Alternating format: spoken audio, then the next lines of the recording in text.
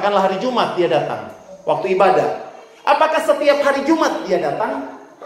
Yang tidak tahu. Apakah hari ini dia datang? So, tidak mungkin lagi. Jadi hanya waktu tertentu. Saya ada gambar, tapi sulit untuk kita mau kasih gambar atau mau kasih lihat ke saudara. Ada kepercayaan orang yang Yunani, itu gambar. Mereka percaya dengan dewa-dewa, patung-patung. Tapi ada yang patung yang uh, menyerupai seperti malaikat, wajahnya itu di depannya dari dari telinga ke samping juga telinga, di sini rambutnya panjang, panjang ke depan.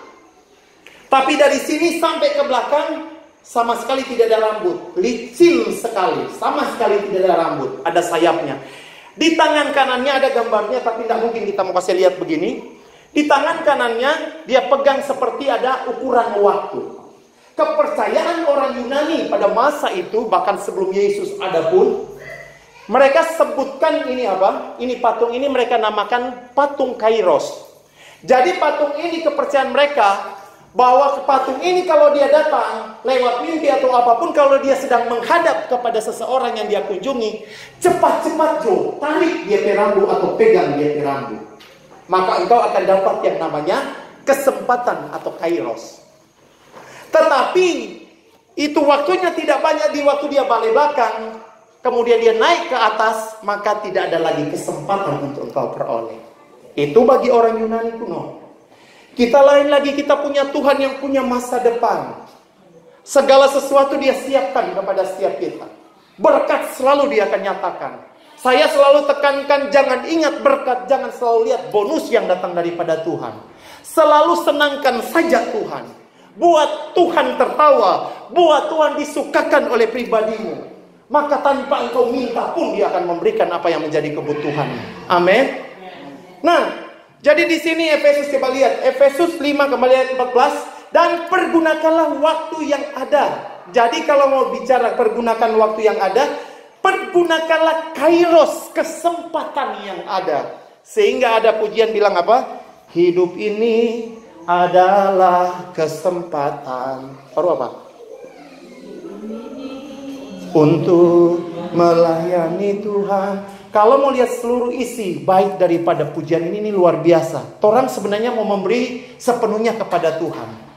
Nah, ada seorang anak kecil dikunjungi oleh Tuhan. Usia kecil, Tuhan sudah datang ke anak kecil ini. Apakah lewat firman hamba-hamba Tuhan pun bilang begini. Layanilah aku Tuhan Allahmu dengan segenap hatimu.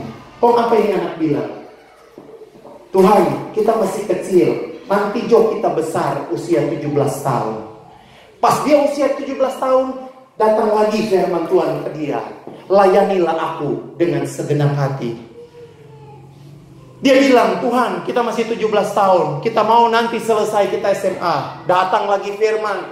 Suara yang sama, layanilah ikutlah aku. Tetap dia bilang, nanti Jo Tuhan kita kuliah. Sama setelah dia kuliah, dia bilang nanti selesai kuliah. Selesai kuliah sama. Dia bilang, Tuhan nanti kalau kita sok kawin, dapat pekerjaan, dapat pekerjaan. Dia bilang, Tuhan tunggu dulu.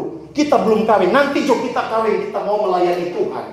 Pas dia menikah, dia diberkati di rumah gereja, datang lagi firman Tuhan bahwa dia harus mengikuti Tuhan. Apalagi dia bilang, Tuhan tunggu, kita baru kawin, baru apa? Baru kawin, belum ada anak, nanti jo ada anak. Setelah anaknya lahir, dia lagi bilang, Tuhan, tunggu kita pe anak masih kecil. Nanti kita pe anak-anak besar. Setelah anak-anak besar, sama Tuhan datang. Ujung-ujungnya Tuhan datang, kong dia cuma bilang begini, nanti jo Tuhan, kalau kita so pensiun. Dan ternyata kasih Tuhan datang juga tetap tidak berubah. Dia datang di masa dia so pensiun. Kong apa dia bilang? Tuhan, apalagi yang kita mau kasih ke Tuhan? Kita so pensiun, kita so kurang pakai dikit-dikit, kadang-kadang tidak kuat, kurang di kursi roda. So tidak mungkin lagi kita melayani sampai pada matinya dia tidak meresponi panggilan Tuhan. Hidup cuma 80 tahun kalau terampai waktu banyak dengan Tuhan. Surga dan neraka seperti kemarin hari Minggu malam bagus ada dari penginjilan bicara tentang surga dan neraka. Aduh kasihan, di surga itu sedangkan satu tetes saja air sulit sekali sampai ada orang kaya ini dengan Lazarus bilang, orang kaya bilang, teteskanlah apa? Satu jari saja itu eh, setitik setitik air untuk aku di mana di neraka. Bayangkan. Itu neraka bukan cuma dua hari di sana kong selesai selama-lamanya. Surga pun sama, senang selama-lamanya. Jadi selagi orang masih ada di dunia ini, mari saudara, lakukanlah hal yang benar. Banyak hamba Tuhan lewat firman ini atau bimbar ini saudara, menyampaikan hal-hal yang perkara-perkara rohani. Tinggal kita meresponi dan saya percaya anak-anak Tuhan, hamba-hamba Tuhan, kita semua jemaat Solafide adalah orang-orang yang senantiasa pastinya akan memenuhi sorga. Amin. Sadiki bahkan kalau boleh nyanda ada yang mau tak tinggal atau nyanda ada yang mau tak pergi di neraka. Amin. Hidup ini adalah kesempatan, kesempatan untuk selalu melayani Tuhan. Mengapa kita harus menggunakan waktu sungguh-sungguh? Karena hari-hari ini adalah apa? Jahat. Maksud hari-hari ini adalah jahat karena Alkitab berkata, hari-hari ini adalah hari-hari terakhir. Mengapa hari terakhir? Dari mana kita mengukur hari terakhir? Ada yang tahu? Hari terakhir itu di waktu Tuhan Yesus naik ke surga. Amin. Dan sesudah nantinya dia akan datang dengan cara yang sama. Maka itulah dikatakan waktu antara dia naik, waktu antara dia datang kembali, itulah hari-hari terakhir. Yesus sudah naik ke surga, tinggal dia akan turun, datang kembali. Kita berada di hari-hari yang terakhir. Alkitab berkata bahwa tanda ciri-ciri hari terakhir itu apa? 2 Timotius berkata demikian, 2 Timotius pasal yang ketiga, ayat yang pertama. Pada hari-hari terakhir akan terjadi masa-masa yang apa? Sulit dan sukar. Manusia akan mencintai dirinya sendiri. Menjadi hamba uang dan sebagainya. Tidak peduli agama. Membangkang kepada orang tua dan banyak hal. Dan saya percaya saudara.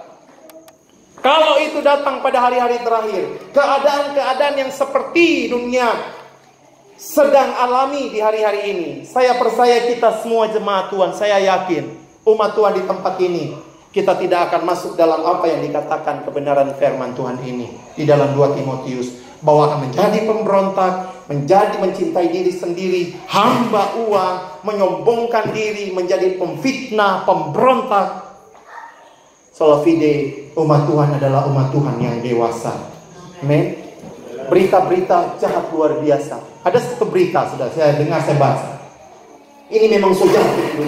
Kalau masalah pem, pemerkosaan, masalah perzinahan, percabulan itu banyak. Tapi kisah ini saudara mengerikan. Anak kandung perkosa ibu kandung. Dia pecara, dia kasih minum obat apa? Tidur kepada dia pe ibu, kemudian dia perkosa dia pe ibu.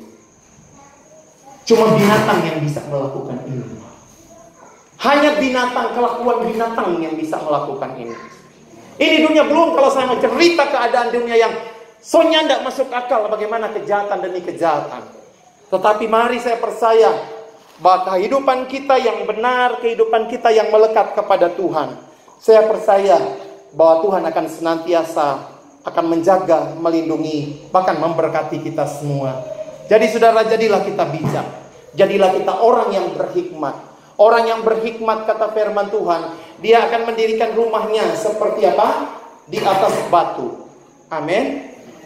Orang yang berhikmat Alkitab berkata Matius pasal 7 ayat 24 sampai ayat yang ke-25. Orang yang bijaksana adalah orang yang mendengarkan firman Tuhan, bukan hanya mendengar. Tapi dia menjadi pelaku kebenaran firman Tuhan. Tuhan Yesus memberkati. Mari kita beri kemuliaan bagi Tuhan Yesus.